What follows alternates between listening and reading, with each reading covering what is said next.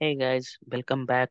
In this session, we will discuss example of request specification. So last session we have discussed why we use request specification, but we did not discuss the example.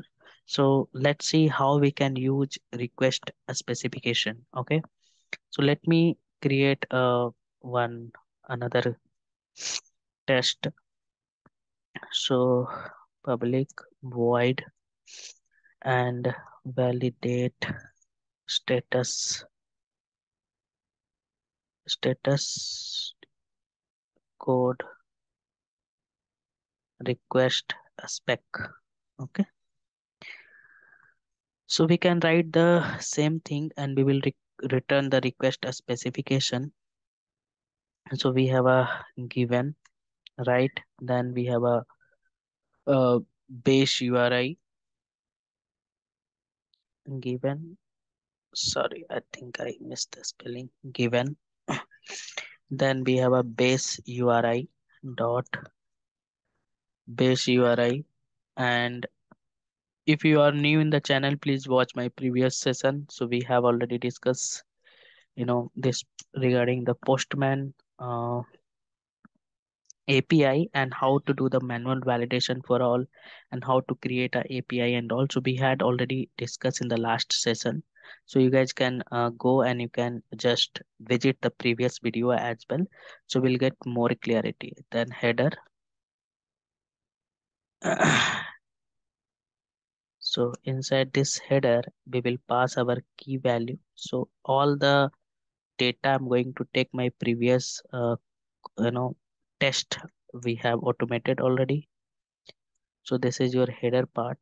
Now you know we will use here you know uh okay so i'll come on that okay? So now here um okay so we have a header. After header i have used a spec.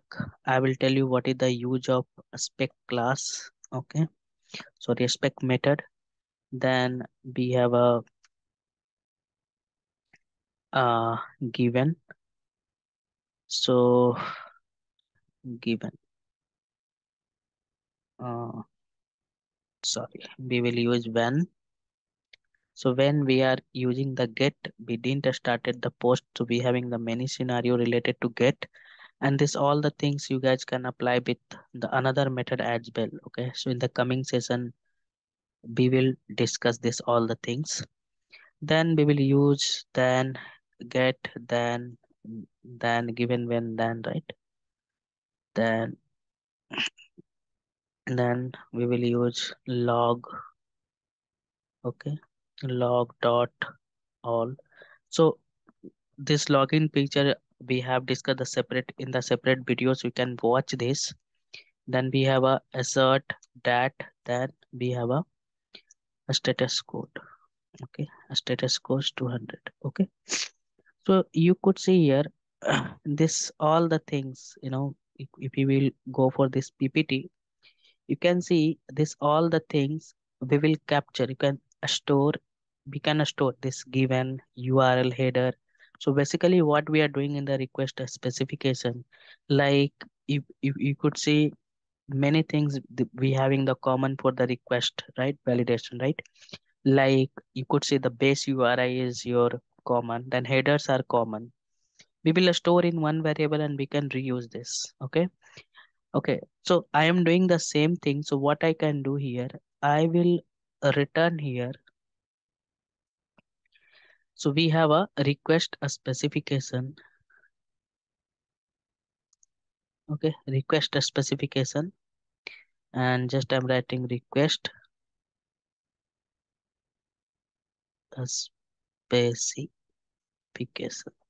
So request a specification is your interface.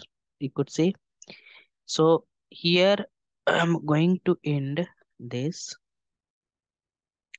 and this spec you know i will return this variable.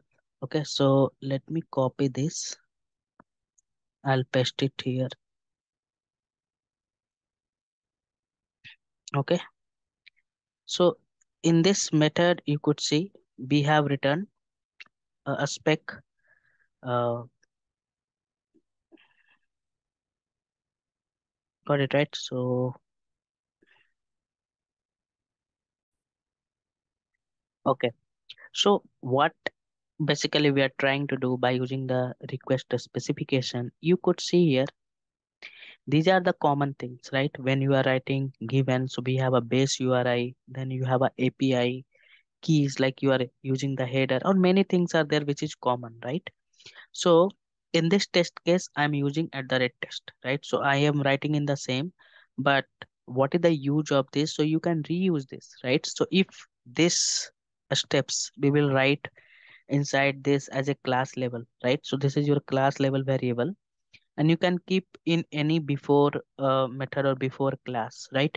So what will happen? Again you should not write this all the steps in the every test cases. So next example i will discuss the same how we can reuse this by using the request specification.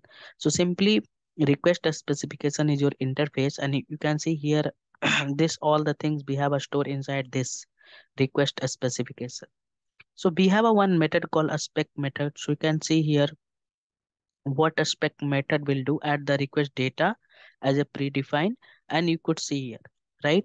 So directly we can pass here this uh, variable and we can reuse this, right? So this is, you know, why we use the request specification. So let me execute this code and let's see how it is, it is working. So do one thing this previous test case. okay, so I'll just uh, run this.